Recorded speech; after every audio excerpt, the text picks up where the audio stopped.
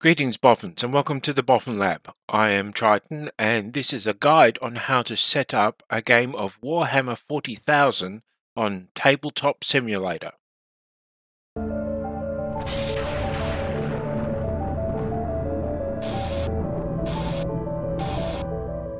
There are several arguments why to, you should use a tabletop simulator like this one to play Warhammer 40,000 the fact that you might want to try out a different faction before actually buying the models is the first one. But your friends may live too far away to join you for a game, or you may want to play eh, when you don't have the space for a gaming table or the miniatures or any of the bits. This gives you a chance to try the game for a minimal cost and play without having to have everything else in place. However, I do encourage you to try and paint miniatures and give that a go because it's a lot of fun. In order to get set up, uh, you need a few mods from the workshop in uh, Tabletop Simulator, and all you have to do is go to the workshop page and have a look. You need two or three things largely. One is a way of building your army, two is a way of uh, playing the game on a table, and the third is terrain and map packs. Though we'll just start with the basics at this stage and work our way through. So, the first thing you are going to need is a way to build your army. And the most basic way is to use the Combat Patrol kit, which lets you uh, import a pre generated 500 point army from each of the factions. All you have to do is subscribe to it and it's already loaded and ready to use. Even the stat cards are there. If you want to create your own army, you will need the Force Org mod, which is a collection of miniatures made by various different people for each of the factions and collected together by one person. The last thing you need is the Warhammer table itself, and Warhammer 40k 10e table is the mod that I'm using for this demonstration. It has map, terrain, dice, rules, everything you need. If you've never played Warhammer 40k, then I recommend you start with a combat patrol. To load this up, hit games, and then navigate to uh, where you've saved the combat patrol in your th- in your directory and load it. It will load all of the factions, and there is a army for each of the factions that are in the game at the moment. These armies are balanced and set up for a 500 point game. There's also a set of rules somewhere on the table that you can download and use when you need to. Notice that there is a little bag beside each faction. What you do is you zoom in on one of the bags, hit the place button, and the miniatures will be spawned next to it along with a set of rules and some tokens. As you can see, the miniatures are pretty impressive to begin with, and they can be manipulated and moved as you wish to use them. Mousing over a token or a miniature will give you the rules on the item. Hitting Alt will show you a information card for the special rules, and there is a booklet for each of the item armies so that you can get an idea of their abilities and their history. I recommend you use the scale up function to make this book big enough to read effectively, and the mouse wheel will scroll through the pages of the booklet so that you can see the whole information of the army that you're going to play. This is the best way for you to choose what you want to do and get a feel for which army you want to try and use, as it gives all the stats, the tactics, the styles, and so on. Once you've decided which army you want to use, you can pack all of the army back into the bag using the recall function. Then right click on the bag and choose Save Object give it a proper name somewhere, and it might even be worth putting it in a decent folder, and then save the object for you to grab out of your storage at a later date. And that's all you have to do to have a ready army for a combat patrol. Your opponent will have to do the same thing for one of the other factions, but that's done. If you want to design your own army, the currently recommended tool is newrecruit.eu. Now, it's important to notice that this seems to save data locally. If you do not have an account, and you'll notice that my system does not currently have an account, you're not saving your data to a cloud of any kind which means that if you clear your browser cache or you change browser or something like that, you will lose your army lists. So I recommend you create an account and you save up your lists onto the syncing cloud. Now to start, you select the game that you want to play. It's not showing you the menu at the moment, but I've selected Warhammer 40,000 10th edition from the list. And then you create a list using the button there. This will give you the option of choosing the faction. And once again, it's not showing those factions, but all the factions are represented. And then you set the point limits and then you hit the add force button and then hit create list. As you can see, this gives you the list of the currently loaded points for just about all of your army and uh, any options they will have. However, I will use a saved list in order to explain how this works. You can look at the details for this list at a later stage.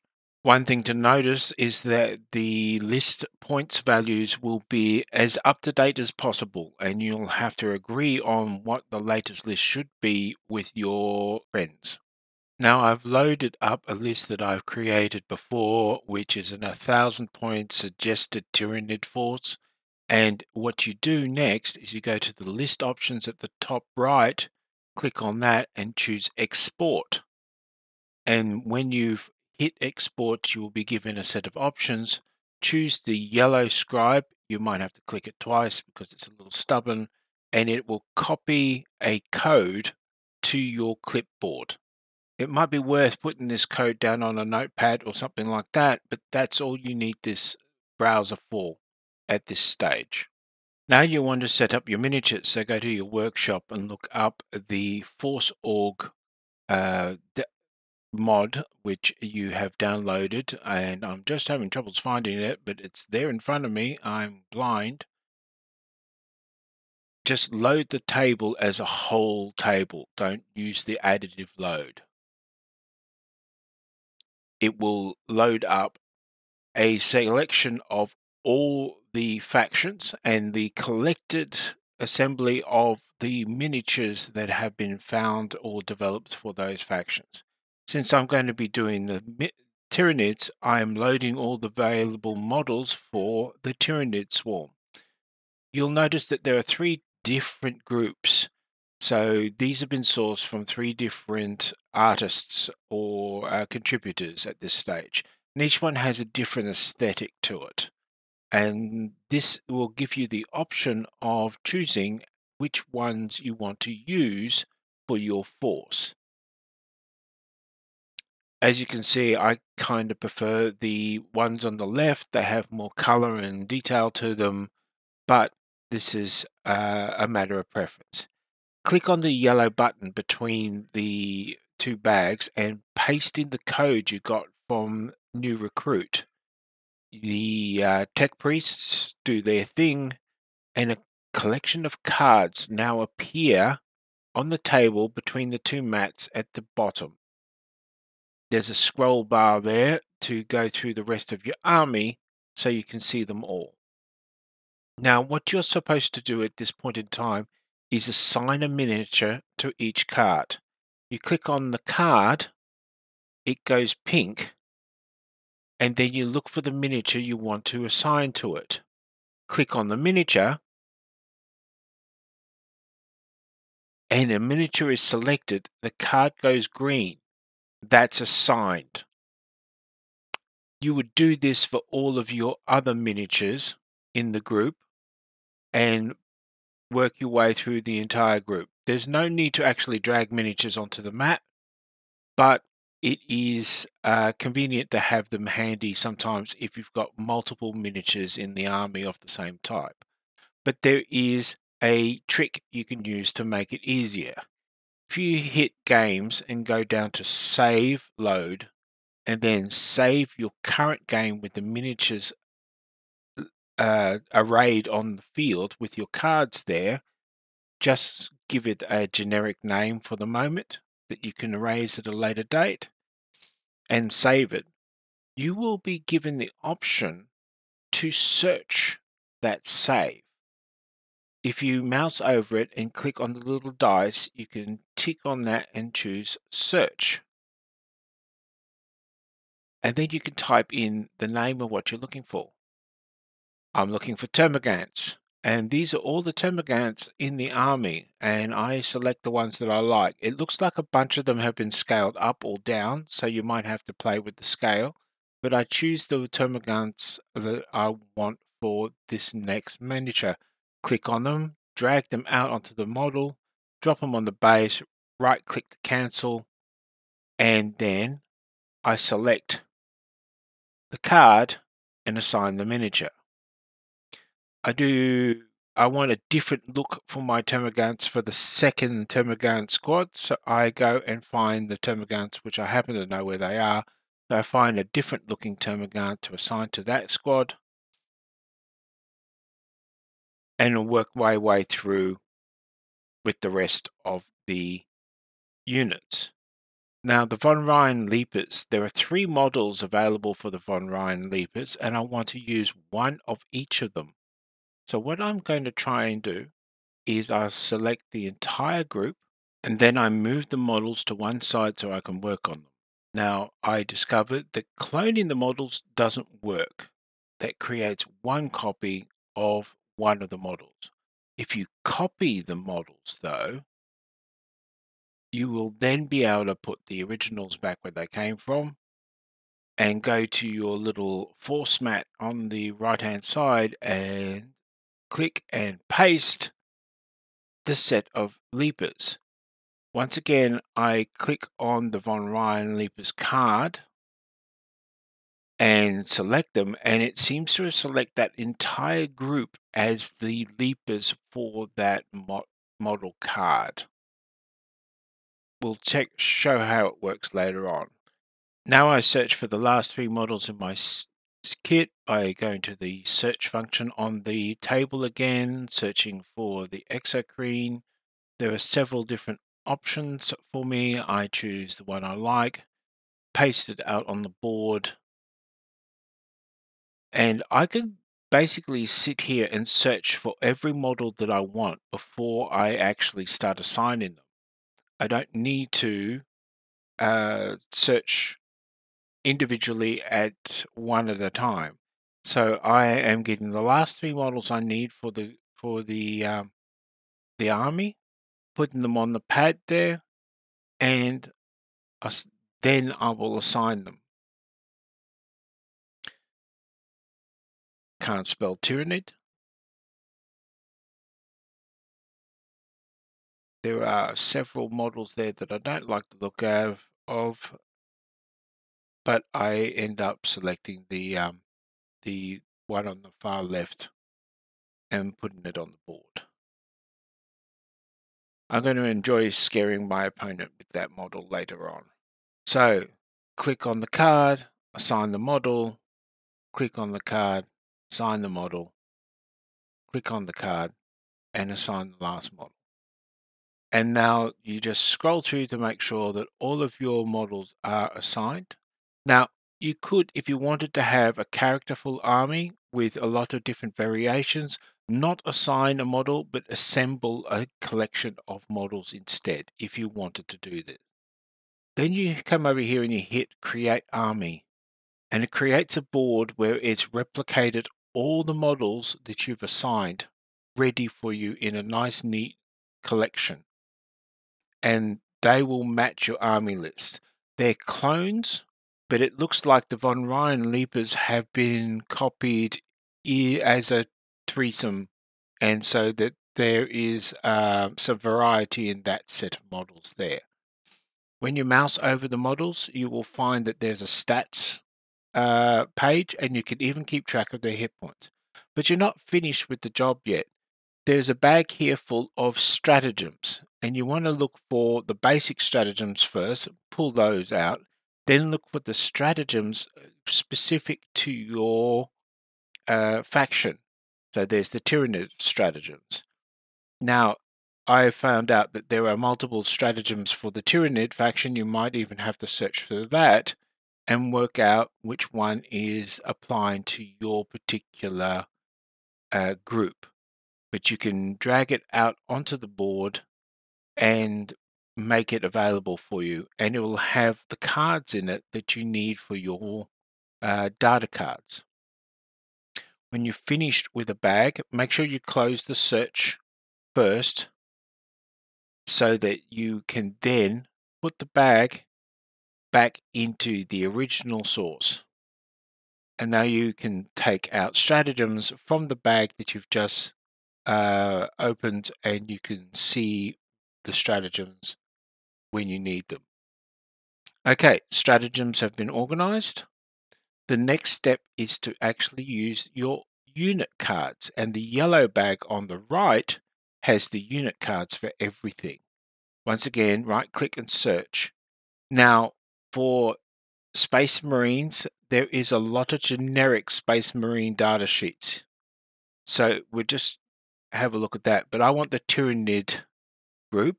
So I grab the Tyranid bag out. But I'm going to show you the Space Marines first so that you can see that the Space Marines have in fact got the faction specific bags at the top and the generic cards for everything else in the Space Marine armies that you might need. So you might have to dig a little deeper in each bag to find the cards that you're after. Now I'm going to shove, search my way through the uh, Tyranids uh, datasheet bag, and all I have to do is type in the search and drag the card out. Holding Alt down will let me view it, but I find it's a good idea to scale it up about 10 steps to make it much easier to read. And now you can see it. You can also use F to flip the card and move it over. So I work my way through the list. I eventually work out the best way to do this is to create a pile of cards and do the scaling up on all of them as a group rather than doing them individually like this. So I'll just speed up the next few seconds so you can see what I've done and we will progress. There's something here that I do in a moment that is worth looking at. I find my termagants and I find the card and I then clone it and make two copies of the card so that I've got a card for each. Depends on how you want to work your system. You might only want to keep one card. Now that I've got them all, I can select them all and scale them all up to roughly the same size. And then I select the whole lot and group them together and they become a stack of cards that I can take apart at will. Nice and neat and tidy.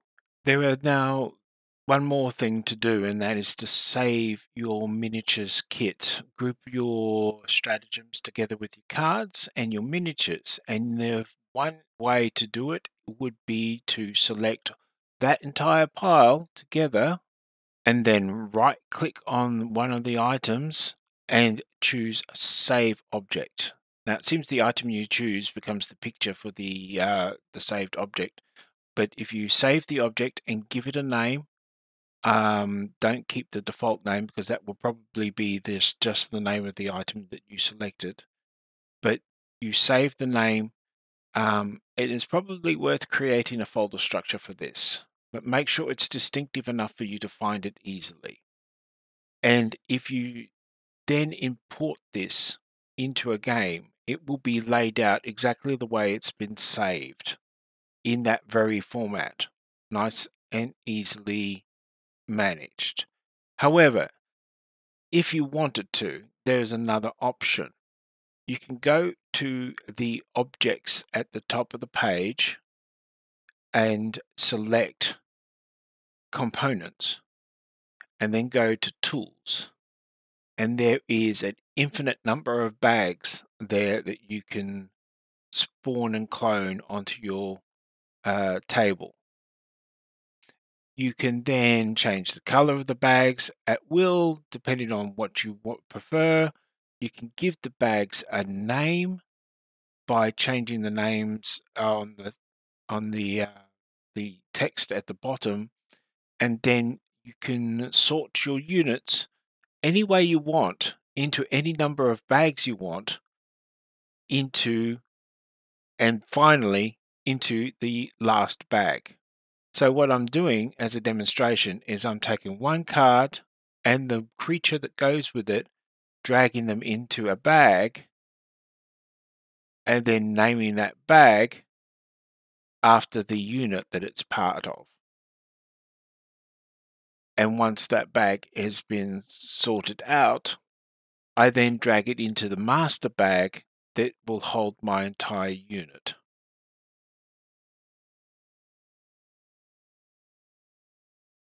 You could then go through the rest of your army and do this, and then all you would save is the bag as an object, and the whole thing would be saved correctly. Or you could drop the entire thing into the bag as a whole unit, and that's another option. The downside is that when you start taking things out of the bag, they come out one at a time. And so uh, the unpacking of the bag is a little bit more cumbersome than, say, saving the whole layout later on. So now that you've got an army and your opponent has an army, you want to load the Warhammer 40,000 map table. And I'm just having troubles finding it but it is there. Load it as a whole. Do not additive load because you don't need what was there on the table before. Now, first thing that each person is probably going to want to do is import their army. If you're doing combat patrols, this can sometimes cause a problem, but find your army by going to Objects, Saved Objects, and look for the army itself there's my starter Tyranid kit. And that's the bag that I, I assembled. As an example, you could see that it's got all the bags in it ready for me to deploy. Now, the other option is my Termagant laid out ready to use kit. So I'm going to drag that onto the board and you see that it spawns the miniatures, the cards, and the the bags that you need for your rules straight away, ready to use. Um, that should be enough to scare anybody if you just drag those suddenly onto the table. Nice and quick and easy. I've also got a copy of the rules and the combat patrol rules, which I'm going to drag onto the table to make sure that they're easily available and you can scale these up so they're easily readable as well. And you can clone them so both sides have one. Next stage is that you will probably have to do the same thing for your opponent, but you will like to have a look at the mats and battle mats that are available. You can either, sh either shuffle them using the R key or that shuffle option, and randomly pull a mat out of the bag, wait for it to load, and then snap it to the grid. Like that. The right click option gives you the ability to lock it in place using the toggles, or you can use the hotkey L to lock it so that it won't move. Okay, I can't drag it. Then what you would probably do is uh, use your objectives to get out objectives. Now, there seems to be a bug with this bag, and I'm not exactly sure why it's doing that, but I'm slowly pulling objectives out of it, putting them on the board, come back. I got one. And you would drag them out of the bag and put them on the board as per the rules. Then you would go about arranging terrain. So I'm just going to skip to where I've finally got all the objectives. And now I can start locking the objectives in place. So right click on an objective once it's in the place you want it to put it and hit the lock and it'll lock to the board. So it can't be moved easily unless you unlock it. Uh, click to lock and lock again. So at this point you would then start playing with the terrain. Now, if you wanted to generate your terrain yourself, there is a big bag of terrain available for you here with all sorts of things. You can randomize what comes out of the bag and simply drag it onto the board and then lock it in place. Uh, or you can shuffle what's in the bag and randomly grab something else out. Uh, we will have a look at a few other buildings orc buildings. These were not as exciting as I thought unless I had a look through the list. I just randomly pulled out some sort of wall and then I go looking for alien flora which is in the top corner.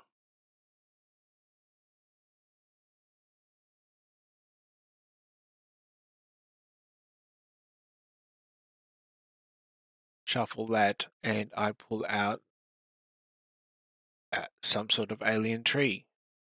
Make sure once you've finished selecting all your terrain to lock them in place. Now, one of the good things about this is it often gives you the rules for the terrain when you mouse over them. But to remove them again, you've got to unlock them and then you can delete them or put them back in the bag as you wish.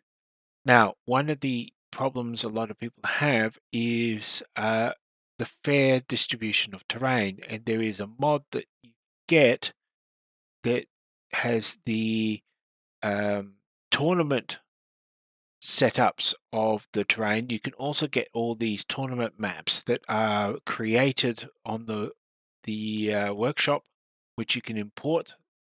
Um, they come complete with objective markers already in place, but this WTC World Team Tournament uh, mod will be additive loaded to the group and if I'm correct, I believe it's actually loaded underneath the battle mat. So I loaded a second time and it loads above the battle mat. You'll probably have this exact same frustration as I did. Just make sure not to accidentally load fully rather than additive load. There's the items there. So I select them and move them. I can see the ones under the mat, they're available. I can click on those. I just select everything, move them to one side, and we can have a closer look at how they work. Now, apparently all you need to do is pull out one of the mats and you can then basically immediately assign all the zones and the uh, and the terrain from that uh, campaign or mission as per the the rules on the um, tournament rules. You hit the load map and it will I've got to remove the objectives that I had before just in case but I found that the objectives didn't load last time so this might be a good step for you to put the objectives on yourself. I have selected the uh, load map and it appears to have loaded a new battle map as well as the terrain. I suspect the objectives are layered between the two, so this is something to experiment with, but you will have to set it up accordingly. Uh, there is a bunch of different maps and objective layouts based on the mission and the tournament style that you want to do. It's worth having a study and see how it goes. But as you can see, it's fairly evenly distributed. The last thing I'll show you is the dice spawner. There's some buttons to choose the number of dice. There's a roll button. You can hit it multiple times to get your dice to really roll. And then you can choose the button you want to select the dice that do not fit to that category. So everything that's left on the board were fours and ups. Then you can select them and roll them again and do the same thing. There's a lot of uh, uh, ability to play here, but the dice spawner does have a limit of a hundred dice. You can't go above that, which might make it a little difficult if you're a guard unit with so many las rifles. It's difficult to count. From here, it's a matter of playing with mods and trying new things, but you are basically ready to start playing a game. The tools are all there measurement tools, movement tools. Just be certain to lock the table so that it cannot be flipped. Uh, it hurts to watch all these models go flying on the floor, even though they're not real. So there's a, a, a, special option in the options tab that allows who's allowed to flip the table and who's not. So now you're ready to play. You'll be able to discover which faction you really enjoy and which faction you want to collect and paint. I highly encourage you to try this, particularly allows you to play with friends that are living in distant cities uh, and uh, gives you an opportunity to try a new faction if you're thinking about collecting it.